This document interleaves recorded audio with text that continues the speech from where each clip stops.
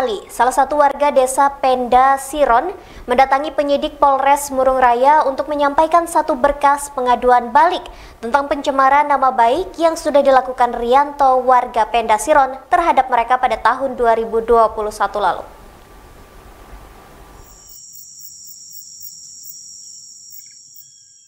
Selasa 1 Maret 2022, Ahmad Ali melapor ke penyidik Polres Murung Raya dengan dugaan saudara Rianto dan saudara Niko temannya telah menuduh menggelapkan uang fee desa untuk keperluan pribadi.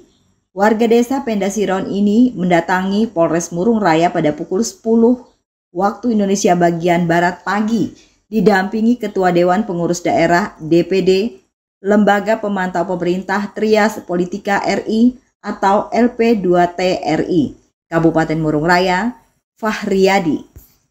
Setelah keluar dan selesai menyampaikan satu berkas pengaduan, Ahmad Ali bersama Ketua LP2TRI langsung memberikan keterangan pada awak media tentang maksud dan tujuan kedatangan mereka ke penyidik yakni melaporkan balik Saudara Rianto dengan tuduhan pencemaran nama baik. Saudara Rianto pada tahun 2021 lalu telah melaporkan Ahmad Ali dengan dugaan telah memakai atau menggunakan uang fee untuk keperluan acara pribadi. Ternyata setelah tim inspektorat kabupaten turun langsung ke desa mereka, tidak menemukan pelanggaran seperti yang sudah disangkakan oleh saudara Rianto. Bahkan, Bupati Murung Raya Ferdi Middle Yosep saat berkunjung ke desa Penda Siron juga mendengar tentang adanya laporan Rianto dan terbukti tidak menemukan pelanggaran. Pihak penyidik Polres Murung Raya juga tidak menemukan bukti pelanggaran seperti dalam laporan Rianto.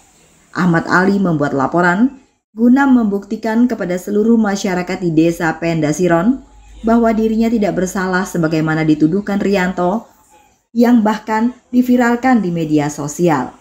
Siang rekan-rekan awak media.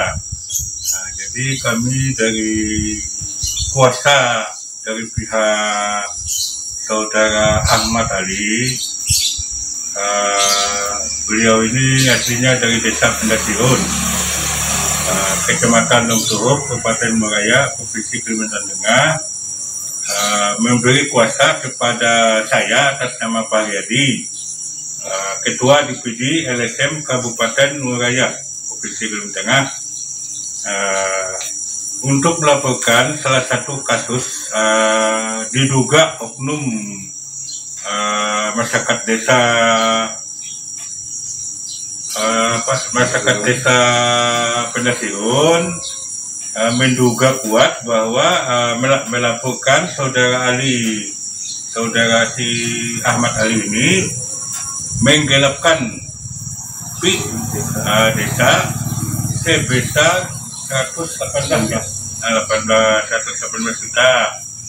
Uh, setelah itu Uh, beliau ini dipanggil sesuai dengan prosedurnya kepolisian uh, memenuhi panggilan. Ternyata tidak terbukti uh, bahwa dia ini ada penggelapan karena uang tersebut adalah titipan dari orang ketiga menuju kas beliau ini. Beliau ini transferkan ke ke abangnya kades itu, Pak Saudara Mesin.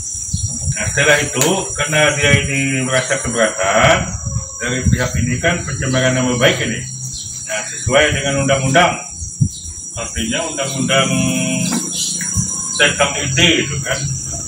Nah, nomor 11 tahun 2008 ya, tentang IT nama baik pidana Jadi meminta uh, mohon uh, kepada saya untuk mendamping dalam proses uh, hukum di Surabaya banyak kami berdua secara sukarela uh, menyampaikan sudah ya ini buktinya sudah kita sampaikan nah, kepada pihak uh, Kapolres Surabaya. Nah kemungkinan uh, ini perjalanannya kalau menurut undang-undang PKP Kapolri itu kan artinya 15 hari berjalan. Nah ini kita tunggu 15 sampai 30 hari. Nah jika juga proses hukumnya agak lama, otomatis saya yang selaku kuasa hukum nanti akan bertanya ulang kepada pihak Pidum, nah, penyidik Polres Surabaya. Nah, Mudah-mudahan dalam kasus ini penanganannya kan artinya uh, independen dari pihak itu akan Dari Kabupaten Murung Raya, Kalimantan Tengah, Adinata melaporkan.